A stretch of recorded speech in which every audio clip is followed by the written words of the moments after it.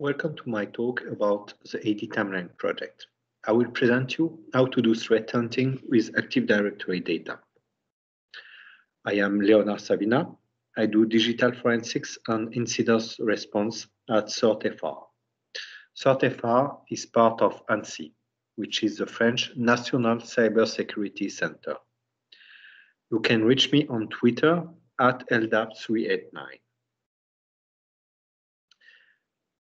Let's look at the agenda. First, I will present you how we do data collection and forensic analysis on an Active Directory domain. Then, I will present you the AD timeline collection script and explain you what Active Directory replication metadata is. Then I will show you how we do analyze this data with the AD timeline application for Splunk. And finally, I will present you how to enhance your traditional event log threat hunting with Active Directory data. So when we perform a forensic analysis on an Active Directory domain, we collect a few things. First, we collect the Active Directory data itself by using the AD timeline uh, PowerShell script. The script is open sourced and available on GitHub. Then we will uh, deploy the DFIR orc uh, program on every uh, member computer. DFIR orc, which we also call orc, is developed in C++ and was open sourced last year. It is also available on GitHub. Finally, we will collect uh, some network logs. So let's have a look at the data collection process. We'll extract network logs from security devices and put them on a central storage. We will run the PowerShell AD timeline collection script against every domain. Then on every domain, we will also uh, deploy the orc uh, collection tool against every uh, member workstation. For this, we can use um, a group policy object setting up a scheduled task. We can also use uh, in-place uh, deployment tools such as SCCM or Landesk. Orc will collect a forensics artifact on the Windows uh, computer. It will put those artifacts in archives, and those archives will be uploaded via the bits over assembly protocol on a central storage. So once we have all this data, we can bring it uh, to ANSSI for uh, processing on or on analysis. And we can also do the analysis uh, on site with a dedicated forensic server. Just a quick focus on uh, DFIR orc, uh, which is a program that collects forensics artifacts on uh, Windows hosts.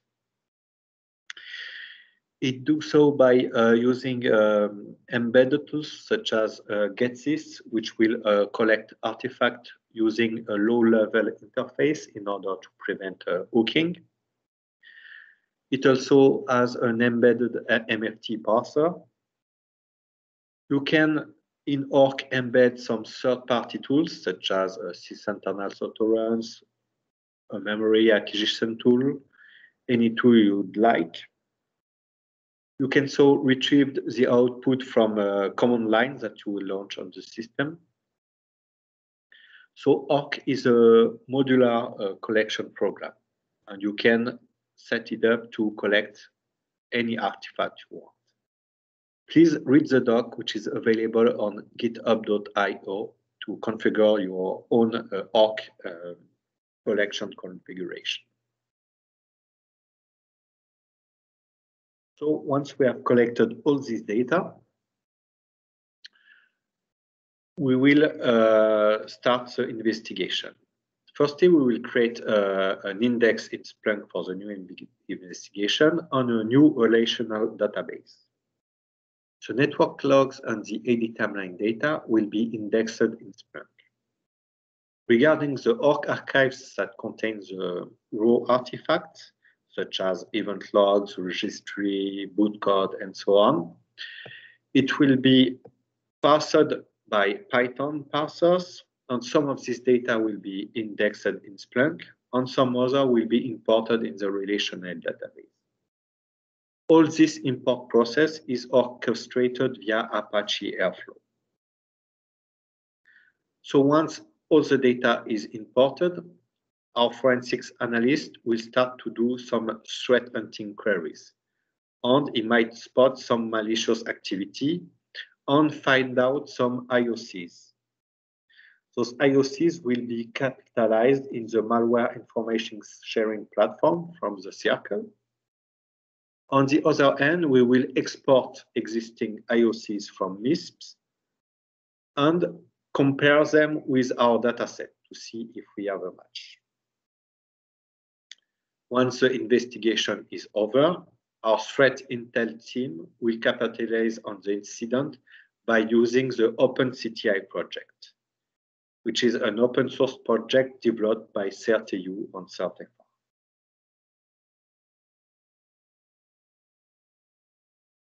So now let's focus on the AD timeline collection script. The AD timeline collection script retrieved uh, Active Directory data itself, meaning the object and the attribute value, but also AD replication metadata, which gives you the time at which each attribute for a given object was last changed. As a consequence, the modification you will retrieve are partial. If the same attribute on the same object is modified subsequent times, you only have the information of the last modification. But for every modification, a version number is incremented. So replication metadata do not apply to non-replicated attributes, such as bad password count attributes. Replication metadata uh, can be retrieved using PowerShell. That's what the AD timeline collection script used. But it can be also retrieved using the repadmin command line tool. So here is an example of the repadmin uh, command line run against the HR underscore RW group. You can see that you have an upper part on the, the result output on the lower part. The upper part is for the replication attribute metadata value, which apply to all attributes in the Active Directory. The lower part is for the replication value metadata that only applies to linked attributes, such as the member and member of attribute. So let's read the output from the repadmin command, which is run against the HR underscore RW group. So firstly, we have the group creation at 527, because we are looking at the when created attributes. Then we can tell that at 530, the user Ulrich was added to the group. Then at 539, the description, the group description was edited. We can tell this is the second time the description is edited, but we do not have an idea of the time of the first modification. And finally, at 544, the user Morty is removed from the group. So you can see that by just reading the replication metadata, you have a timeline of the modification occurring on the Active Directory object. So what the AD timeline collection script do is that it will um, collect object considered of interest in the Active Directory. And for each object, it will retrieve its uh, replication metadata. Then this replication metadata will be sorted by last originating change time. As I've already said, the timeline is partial. It is also a snapshot of your Active Directory at a given time. If you want to properly monitor your Active Directory modification, please do use security event logs by configuring Windows audit policies on setting up a centralization of those events with a Windows Event Collector. So AD timeline script can be run on a live domain. It also has an offline mode.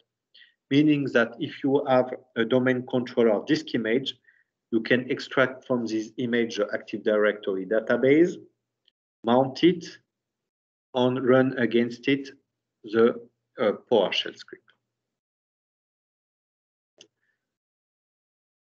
So now we will see how we do analyze the data collected by the AD timeline collection.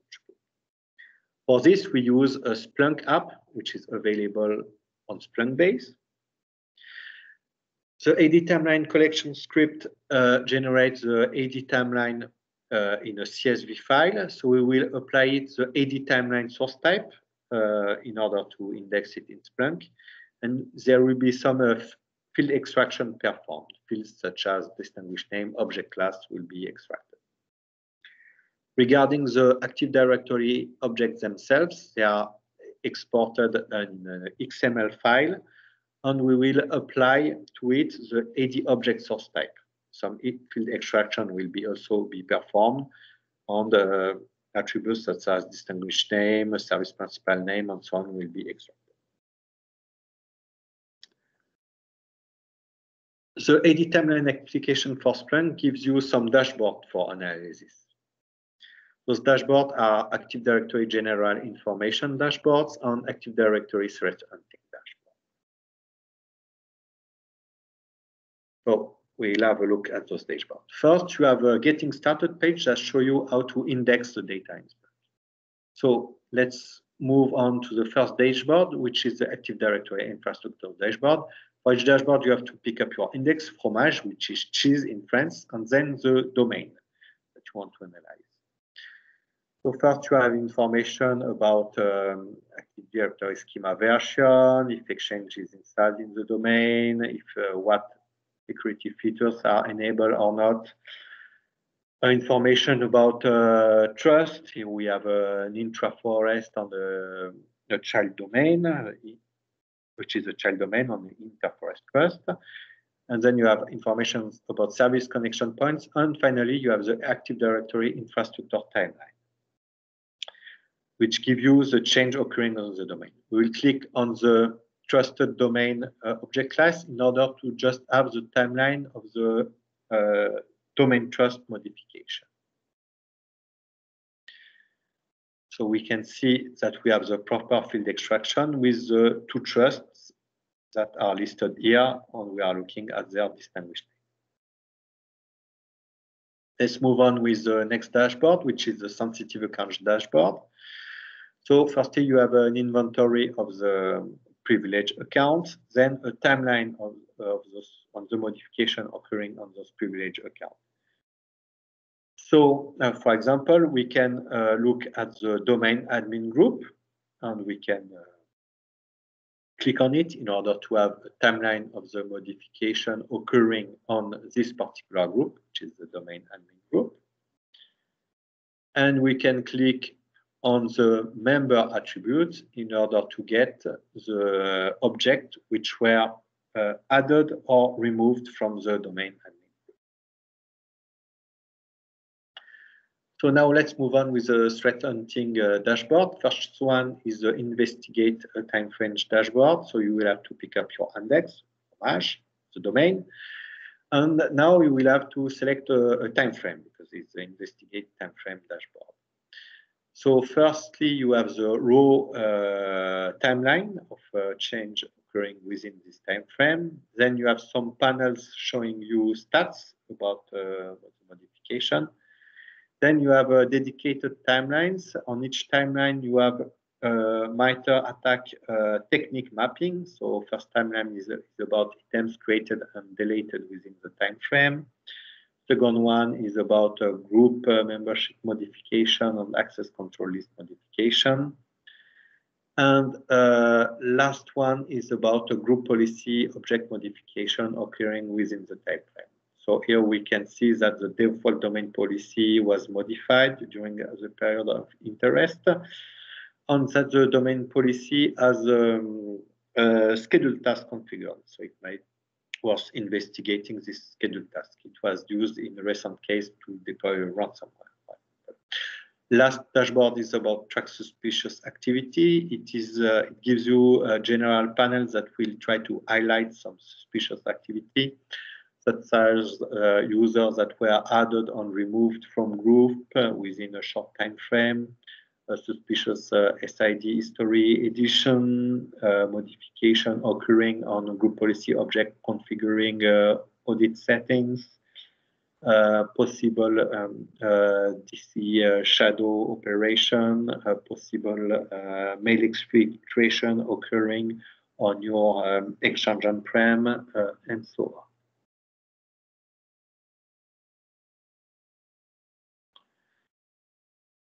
So you can also uh, combines the analysis of uh, Active Directory data with the event logs. We have shown in the first part that we do index the AD timeline data in Splunk, but we uh, do also index the event log uh, collected on every uh, member uh, computer in, in Splunk.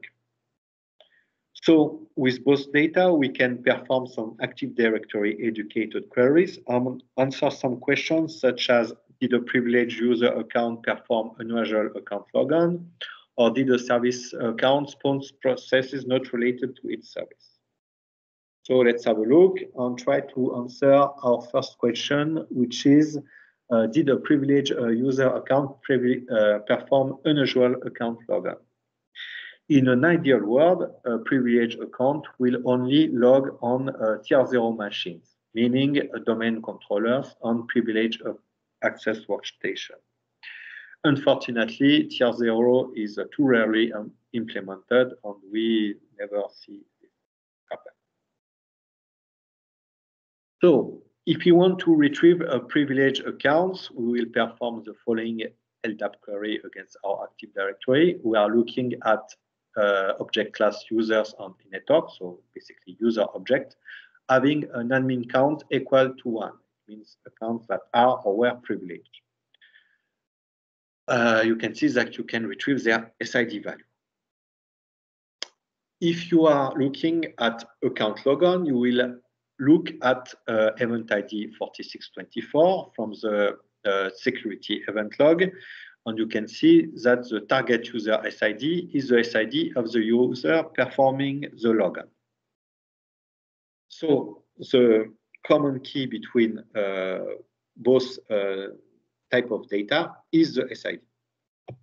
So if we want to get a privileged user account logon, we are looking in, in our index called fromage at the event ID 4624 from the security event log. But we will use a subsearch to uh, narrow down our results only to a privileged user account, meaning uh, we are querying the source type Active Directory object for object class users having an admin count equal to one. And the common key between uh, both source type will be SID and target user SID. Finally, we will group the results by username. So, for example, the user ADM Vader logged on not only to domain controllers, but also on a web server on Exchange server. So basically, uh, tier administration is unfortunately not implemented in this domain. Next example is the Kerberoast attack scenario. The Kerberoast attack uh, involves the ticket granting service request process of the Kerberos authentication process. Users retrieve TGS uh, for a given service from accounts having a service principal name. Usually, those services are set up on computer accounts. But in some cases, those are user accounts. They are called Kerberoastable accounts. The problem is that the TGS has a part encrypted with the service account hash. If the user service account has a weak password, the TGS can be cracked offline and user password retrieved by an attacker. This is especially bad if the user account is privileged. In that case, the attacker will perform an elevation of, of privilege in the domain. As a mitigation, please do use a group managed service account, which were introduced by Windows um, 2012 uh, instead of normal user accounts. So we have our Active Directory with users account, unfortunately, with uh, SPN configured. Um, TGS for this service can be uh, legitimately uh, retrieved by uh, a user accessing to the web server where some of those service accounts are configured. On the other end, what will be more suspicious is uh, are multiple uh, TGS requests for, may, for many uh, user accounts having an SPN within a short period of time because with all those TGS, the attacker will try to crack all of them offline.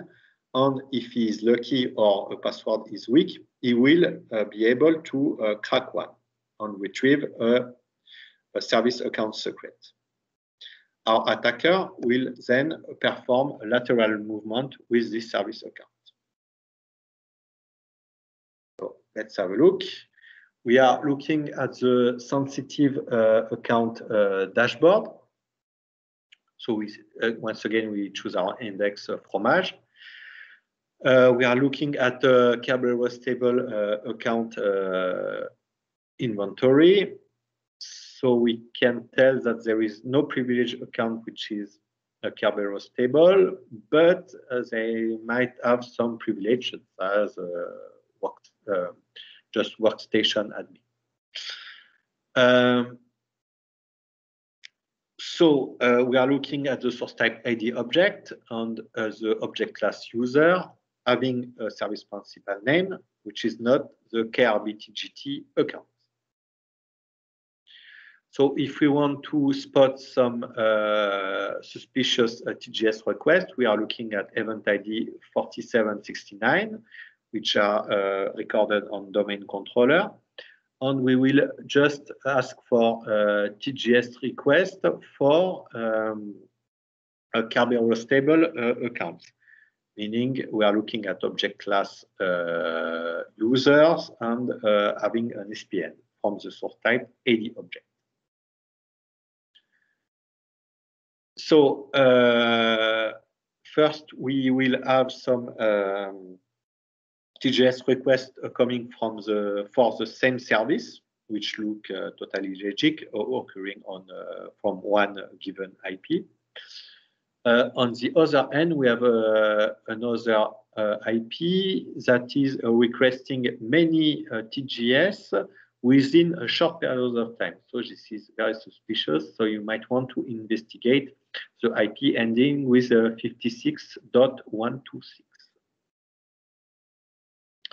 Now we will try to figure out if we, if our attacker um, uh, successfully uh, uh, compromised one account and performed lateral movement with this service account. So we are looking at uh, authentication events, so event ID 4624, and but only uh, for uh, Kerberoastable account. So we narrow down our search for um, ob uh, user object having a SPN. So we run our search and we see that on the computer uh, on the on the web server we have um, logon type 4 occurring for some uh, services account so service account performing a, a, a logon type 4 has nothing suspicious on the other end, on a Windows 10 uh, workstation, there is a service account performing uh, RDP connection.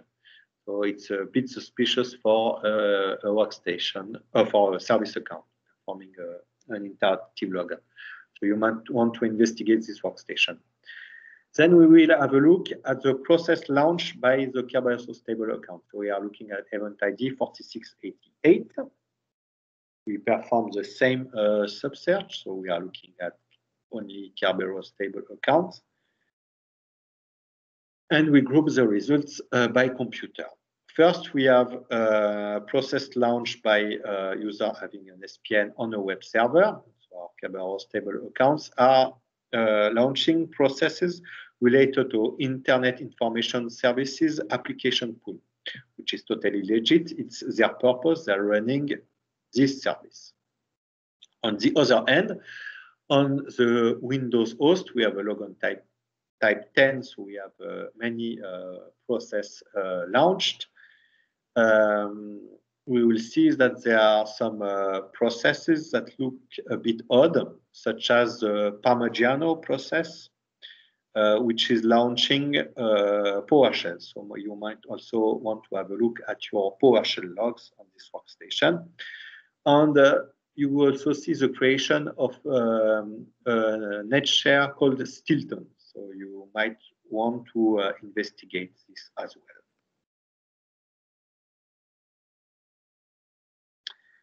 As a conclusion, we have just shown you that you can use AD timeline on Windows event logs to find uh, well-known Active Directory attacks. You can use uh, AD timeline alone in order to characterize change main in your Active Directory if you do not have sufficient log history. But remember that it is a snapshot from your Active Directory, not a monitoring tool. So please set up proper uh, event log forwarding. Uh, by reading the dashboard, you can find some uh, persistent mechanism and so on with the AD timeline application for Splunk. And if you do some audit with tools such as Bloodhound, AD Control Paths, or PingCastle, if you find some bad configuration, you can uh, look with AD timeline at what time those bad configuration occurred in order to have some uh, context on those, on those modifications. And finally, you can use AD timeline with other data source. For example, if you have a proxy that uh, does uh, Windows integrated authentication, you can look for a service account uh, activity. Uh, or you can also uh, baseline your, your VPN logs with Active Directory so thank you for listening to this presentation. That's all for me. Uh, if you have any question, uh, please do not hesitate to reach out. Goodbye.